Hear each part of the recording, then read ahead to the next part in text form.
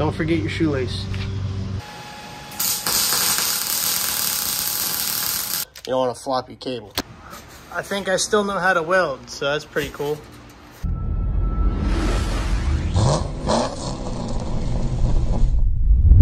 What's up guys, welcome back to the channel.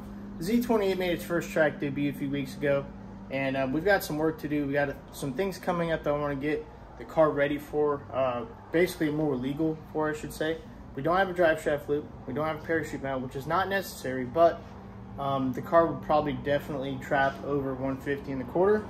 And I don't want to get kicked out because I didn't have a parachute going over 150, it'd be silly. And the package tray in the rear. So package tray, has all these holes in it, which I need to take the rear glass out, get a piece of aluminum, cut out all that stuff, and make our own. So everything else in the cab is pretty much done. I am going to be wiring a secondary starter button somewhere probably in this area or just somewhere on the firewall at all if we have to do any maintenance. Um, let's see, last time we went out, the alternator, we switched the pulley over to the stock size pulley and got a new belt for that. So it's no longer a stretch fit belt, stretch fit belt. It's just a standard four rib belt, so it's nice and tight. Um, we weren't really charging the battery, we we're kind of just maintaining it with RPM. So I thought we would need this. Well, I guess we don't because it wasn't really charging the battery and it could just be our setup. We do have a lot of electrics on the car, intercooler pump, fuel pump, um, fans, trans fan, lots of electric uh, rich stuff. So there's probably just too much for the battery, too much for the alternator to keep up. Now, if we had a mechanical pump, um, still have electric fans and whatnot, no intercooler would probably be fine, but we do, so we're gonna change it, where we already did, and it's charging fine now. So there's a few things we gotta do, and there's a few things I've been doing, and I'll show you that right away, is we added some more service lights. So they're the same lights that's inside the cab, just got a basic single throw switch and we also put a little strip underneath the rear end for any type of service or work or whatever the case may be. Um, yeah so that's really about it. But i mainly did this one to have light back here but and also i wanted to go to the christmas tree drag race that's held by cleetus mcfarland at bradenton motorsports park. Um, i just checked the website this morning. Our approval for the car is still pending but the tickets say sold out. So I would imagine they're sold out. I would imagine they're going to deny the card because they're sold out. Um, either way, kind of sucks. I wanted to do that last year for this year, but uh, hey, it is what it is. But we have things to do. We have a drive shaft loop coming that we'll have to probably modify, fabricate, um, and then weld to the car the subframe connectors. And we also have a parachute mount. Now, I picked this up yesterday from Applied Racing Technology, and it's our local um, local speed shop, local guys that have pretty much anything and everything you need to build a car, from like a pro stock car to a literally anything. They have so much stuff, it's crazy. So, parachute mount. We got a plate for their bumper, which I'm going to show you guys how I plan on doing so. And then the inch and a half um, receiver right here and then the tube with the right here with this uh, this bracket on here this is inch and a quarter. And then the tube for the chute itself is one inch. And it's all 120 wall stuff so it's really thick. It is mild steel so it's a little bit heavier. So is the plate. But um, very inexpensive compared to other companies. And it'll do the same job. So going over to the bumper my idea is to put it straight here. Drill hole right there.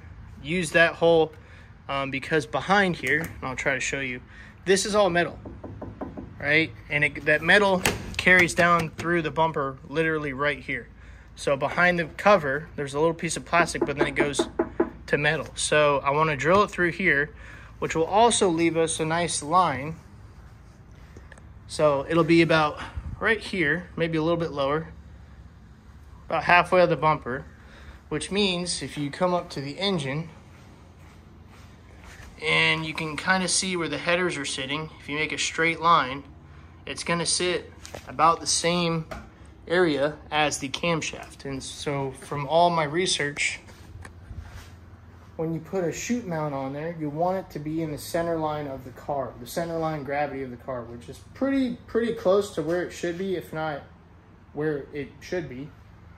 Um, but yeah, we're gonna give that a shot. Like I said, I have an idea. It's not it's not your run of the mill like whole tube uh, mount that's sandwich plate between the bumper. Nobody makes chute mounts for these cars. We don't have a fiberglass bumper. We have the stock rear bumper, and I'm to take advantage of that with this plate. This plate. So I have an idea. I'm to go ahead and see if I can put the hole in the bumper. And then I'm to show you guys my idea, and uh, we'll see how it comes out.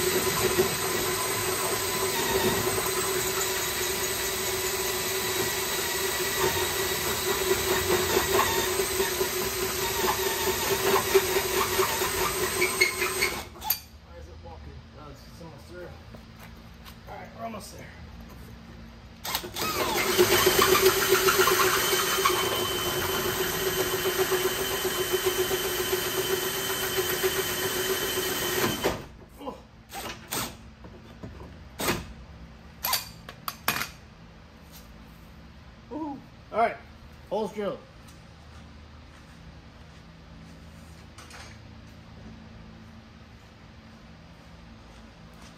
Now our receiver pipe. Want to clean up the hole, but yep. All right, it's good.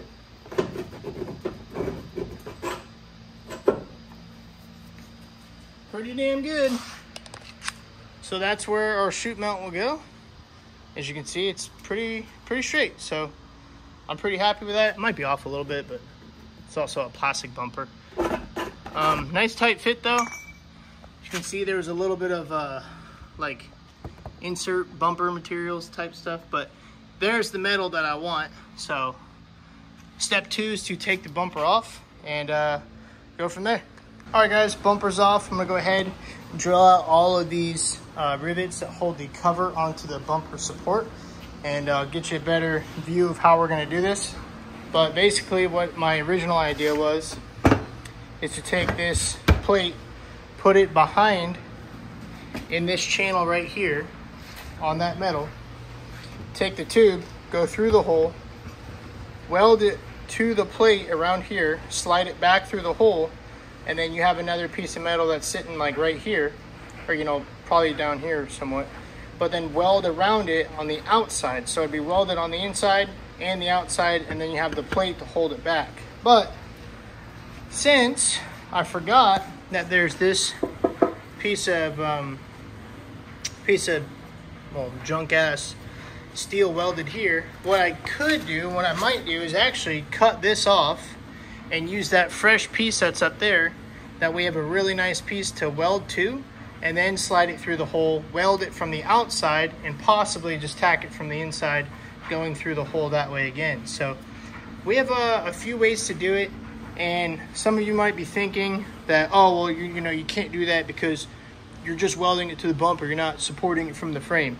Well, you're wrong because that's how this bumper bolts to the car it bolts to the back of the car where the subframe rails are at.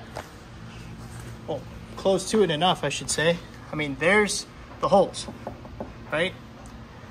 Look where the leaf spring's at. Look where the holes are at. That pocket goes right here. So a lot of the ones you see, like on Motion, for example, is they utilize these holes, run a bar, these holes, and then a bar sticking out to go through the bumper.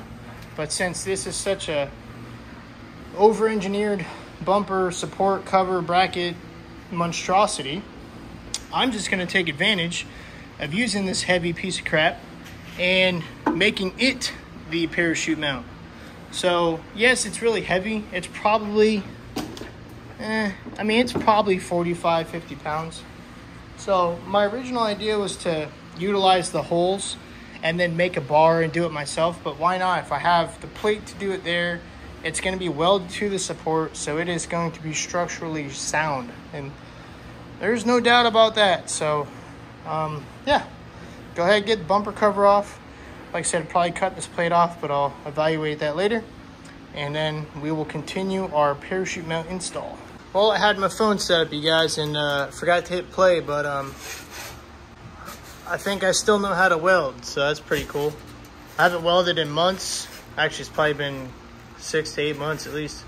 But uh, yeah, these turned out pretty good. Just mild steel, about 100 amps, and it just took my time. There's probably eight to 10 passes on that. And uh, yeah, good penetration.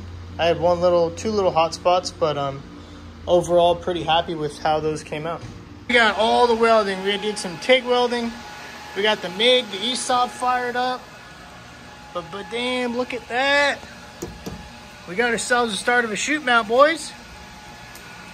All right, so the bumper's just barely in there, but yeah, look how straight that is. That looks so good. So totally, totally happy with that. Now it's just temporary done. It's, or sorry, it's just tacked on there, so it's not done yet. You see I just threw a couple tacks. I'm gonna have to take a, either a torch or uh, something to, to bend this down or heat it up, push it down. So I'll probably do a couple tacks, start hitting on it with a hammer, beat on it like it owes me money, and then uh, close up this gap. So otherwise, it's doing really good. Um, I don't know if I'm gonna TIG weld the outside of that or not. I kind of want to, but I kind of just want to MIG it. I don't know. We'll see. I'll probably end up TIG welding it because I don't get to TIG weld that much. So, so far so good.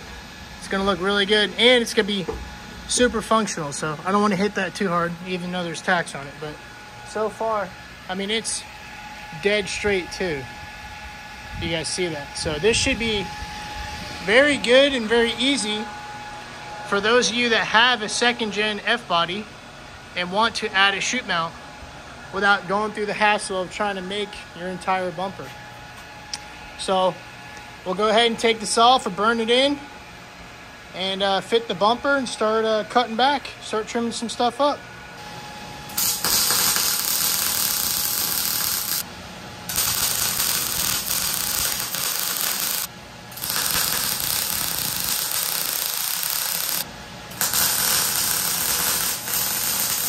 All right, final TIG welding's done. Definitely not my best TIG welds, but um, I think it was running a little bit too hot. I actually turned it down to about 90 amps, but I think the metal was already heat soaked from the MIG welding. So they didn't turn out the best, but you know what? They're gonna hold and you're not even gonna see them. So uh, MIG welding is done. If I can do this one-handed, there you go. MIG welding done. Had a little hiccup right there. Kind of had to stop and restart. Not sure what was going on. Haven't used the machine in a while, but the bumper itself is actually complete. So we'll let this cool down. I need to get some rivets to put the bumper cover back on. Actually, I have rivets to do so. But um, yeah, so we can put this back on the car and then we can put the bumper on and measure where we need to make our cut.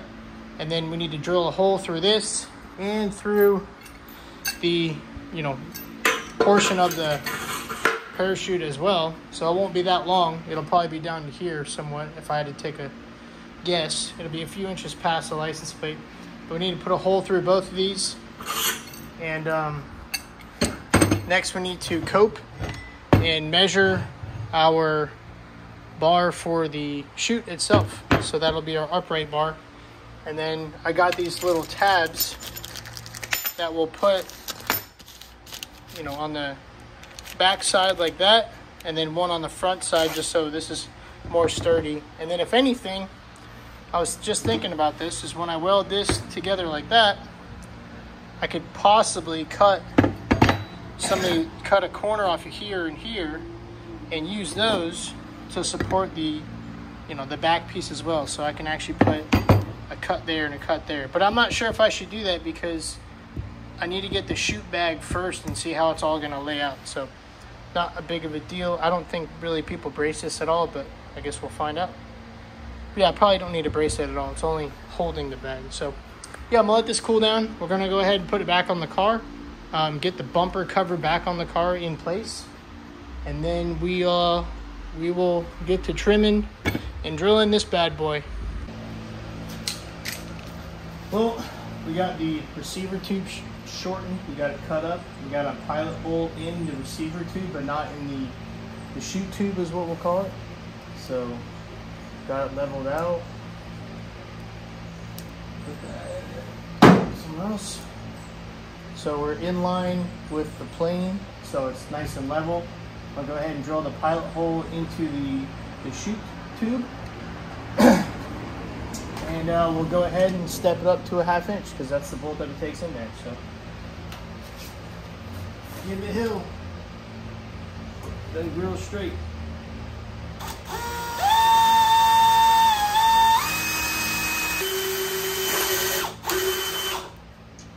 Oh yeah.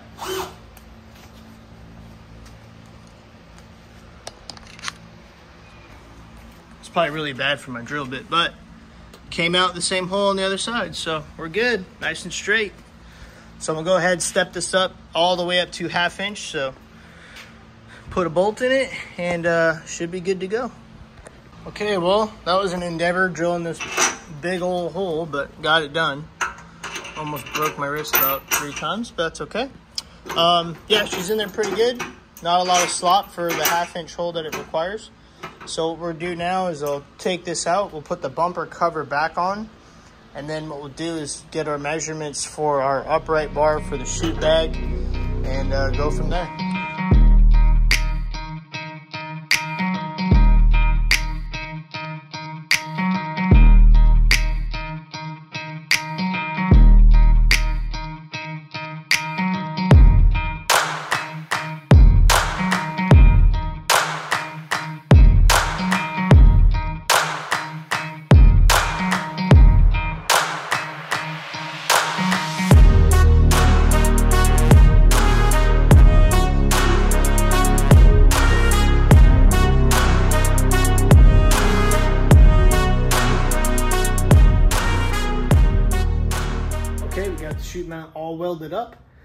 Put a coat of Steel-It on it and uh, the final result came out pretty damn good if I say so myself.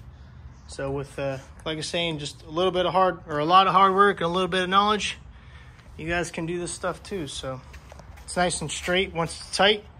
So I'm super glad that my OCD kicked in and got everything perfectly straight and level and center and whatnot. Welds came out really good around the base of the plate.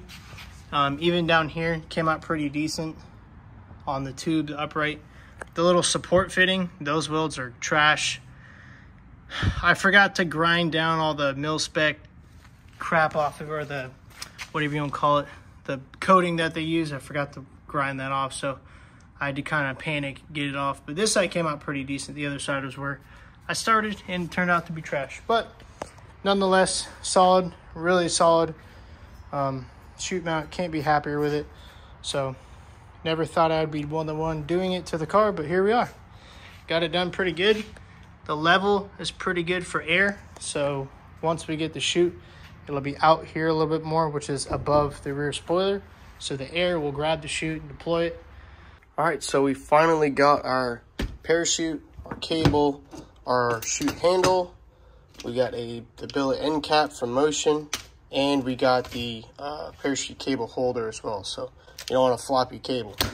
So all this came in the other day. So thank you to Motion Raceworks for all the sh fast shipping that they always have. We got the chute bag all mounted up to the chute mount, and we got our cable on here as well. So I did have to re-drill the two holes over here. Yes, I know there's no threads showing on this lock nut but I think it'll be fine because nothing actually attaches to this. Obviously the chute, you know, is attached to the car down here. This basically just holds it. So I don't see a problem with it, but we'll go from there. So now I need to pack the chute. So this will be my first time packing the chute. I did watch a couple videos, so we're gonna go ahead and give it a shot.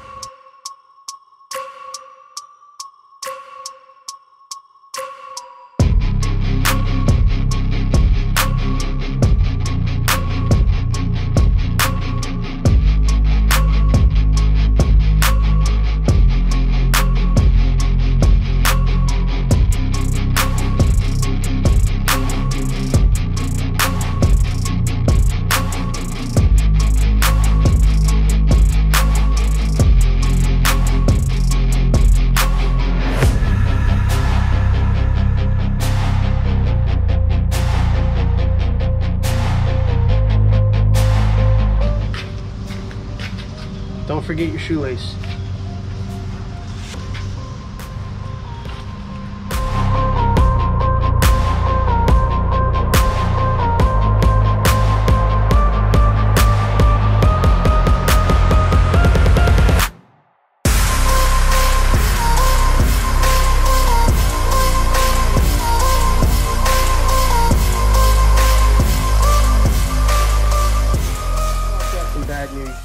Guys. Um, currently, I'm just getting over having the Rona. So, I took a little boys trip, bachelor party to Vegas, and coming back, uh, the day I got back, I felt like complete crap. So, took a COVID test, half COVID. Currently getting over that, so this video might take a little bit longer than anticipated, but that's okay. Um, finally feeling a little bit better. I don't sound good, but I actually feel pretty damn good. So, uh, yesterday was a pretty good day as well. That's why we are doing the parachute and uh, just took a lot out of me just trying to get the chute packed. So I just called it quits. So again, apologize if this takes a little bit longer or if there's a bunch of cuts in between, but doing my best to keep going. Um, it's also giving me something to do other than sit in the house and watch TV all day. So yeah, um, we got the parachute packed, which was an event all in itself, but finally got it, figured it out, and um, yeah, they've completed parachute package deal. And earlier in the video, I was telling you guys that the chute was going to be a couple inches higher than the wing. And it, you know, my predictions were correct. So if you make a straight line, if I even show you guys, it kind of butts right back to the plate. So we got the whole chute. As soon as this thing launches, it'll, it'll definitely catch some wind. So, and uh, we got our remove before flight pin and our shoelace, which we need to uh, make sure we put somewhere safe so we don't lose it. Um, for trailer hitch ideas, since that's inch and a quarter, right? That's this piece of tubing right here is inch and a quarter, which is the excess that I cut off of here.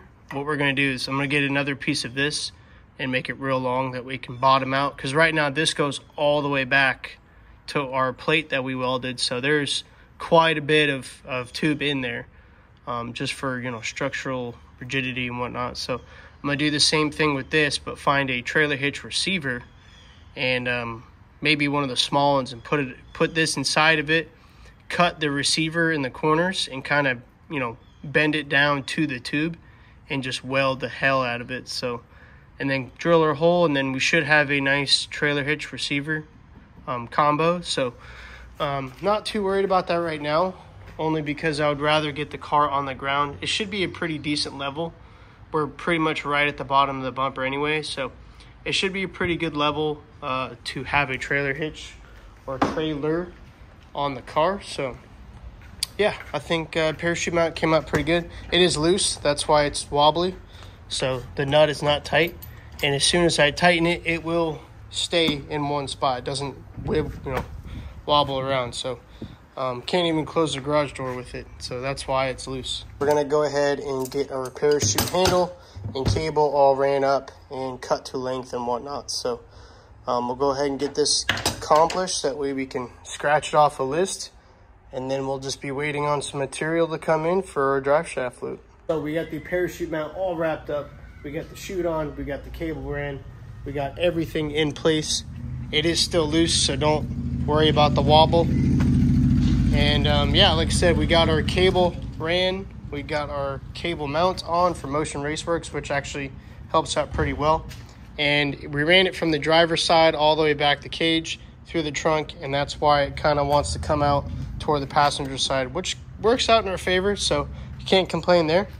And it also leaves it a little bit longer, so if we do change the position of the handle, we do have, you know, about a foot of extra length. All I have to do is straighten that out for the one side and we'll be good to go. So the applied racing mount came out pretty good. Um, luckily, my idea worked pretty well as well. Uh, you know, as well. So we'll have to uh, see it and test it, see how it goes. We'll make our hitch mount coming here in the future, but give you guys a little demonstration. So here is the handle right there. So, oh, so you throw that and it pulls the cable back just enough, just to barely the end of that cable end and, um, you know, releases the, the chute. So, yeah, there's no way this will ever get caught on that cord, which is really nice. So all I got to remember to do is stow it, just like that. And then boom, there she is. So we'll go ahead and repin that before I forget. And um, yeah, so really pleased with how that turned out with all the parts that we got. All the motion stuff just bolts right up. The ART stuff fit really well together, welded really nice. Hope you guys enjoyed the video. Um, like I said, I think everything came out really well. So true test will be to pull the chute once we're actually at the track and see how it does. Hopefully it keeps the car straight and doesn't try to pull the rear end up off the off the ground. So we'll see how it does. But like always, you guys, thank you so much for watching and thank you so much for subscribing. We'll see you in the next episode.